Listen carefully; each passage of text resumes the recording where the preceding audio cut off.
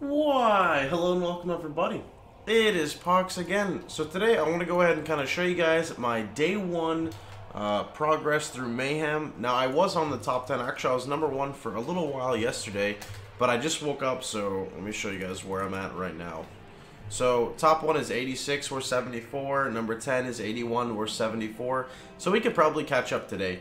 Uh, the reason why I stopped yesterday, because I did want to actually go quite a bit further, is I found a Bringer of Rain, and I also found a Voice of the Storm, and I also found a Wise Oak, and bought a Tabula Rasa. And I did have plans on going Low Life Righteous Fire on day one. The problem is, is that uh, when you're, I guess, kind of far ahead, either you have to just play an extreme amount more while you wait for people to catch up to you, uh, or you can just go to sleep, which is what I did, and basically wake up when the market is a bit more saturated uh, and start kind of picking off your uniques then. So that's kind of what I'm doing right now because it's kind of sketchy for me to level as um, RF totems right now, just because I don't want to keep specking into life, because the more life that I specialize into, um, the more respecking I'm going to have to do later. And I can show you guys my tree here in a little bit, and I'll go over my links. You don't need to use a Tabula Rasa at all for this, by the way. I know I'm using one right now, but, um, I mean, I was competing for top top one for quite a while with no tabula rasa. So it's totally, totally possible. Let me see if we can just pop this. Also for Mayhem, if you guys want some tips, I would recommend highly farming Strongbox zones and Rogue Exile zones. I think when you get higher level though, Rogue Exile zones far, or fall off a little bit.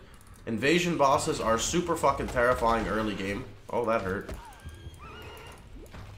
And be really careful of chaos damage just because of invasion, because invasion's back right now. So these boots, Dusktoe, are like super OP because you get like awesome, awesome, uh, whatchamacallit from them. Chaos resistance. Okay, this guy's being a fucking douchebag. I feel like I need to start alching every single every single like uh, GCP box I come across.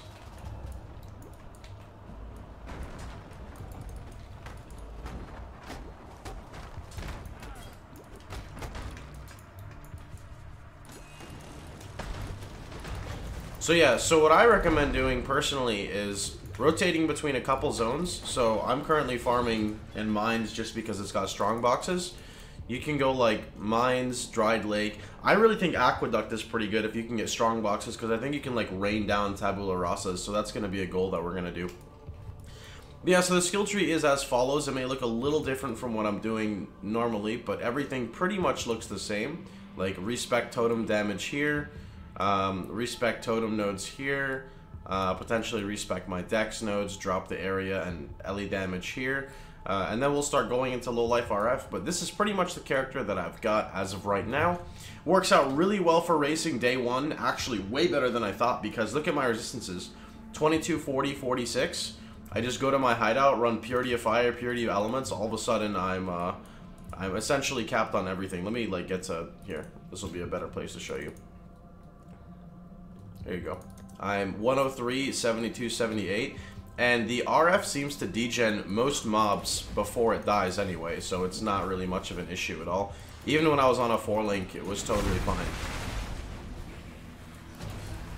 This also makes your totems really good towards elemental damage, which is very important. Hello, fucking Sintrek, Sin whatever the fuck his name is, which is really important in Invasion League because Invasion has elemental damage and chaos damage. Uh, Invasion pretty much just has shit like all over the place.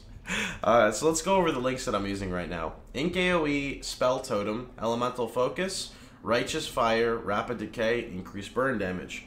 Now, because I'm playing RF Totem, I'm leveling Discipline, Curse on Hit, Vitality, Purity of Fire, uh, Purity of Lightning, I'm leveling some Purity of Ices. There's four Blood Magics right here in my helmet. Um, and yeah, that's pretty much all I've got going for me. I don't really have too much progress content for you guys yet. Uh, I am really, really pretty much waiting till I can go low life RF, and then I can start smashing out some content for you guys. But until then, there's just not too much information that I can put out for you guys. But anyway, hope you guys enjoyed the video. If you did, please feel free to like, share, and subscribe. And remember, you can catch me streaming live every day at twitch.tv slash Pohx. So you guys can pretty much see my progress throughout this league. Hope you guys had a wonderful time, and I'll see you boys all tomorrow. Take care, everybody.